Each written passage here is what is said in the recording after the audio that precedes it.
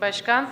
Bir yandan PKK, bir yandan FETÖ üstüne IŞİD'le uğraşırken, öbür taraftan ekonomik sıkıntılarla boğuşurken, işsiz sayımız 8 milyona dayanmışken, ülkede olağanüstü hal ile hukuk askıya alınmışken, böyle bir ortamda bir de ülkenin yönetim sistemini alt üst edecek anayasa değişikliğine kalkışmak, referanduma götürmeye çalışmak ne kadar doğrudur? Üstelik kendi milletvekiliniz anayasa hukukçusu Burhan Kuzu bile olağanüstü hal döneminde anayasaların değiştirilmesi için uygun bir ortam olmadığını kendi kitabında belirtmişken bu kadar ısrarınız neden?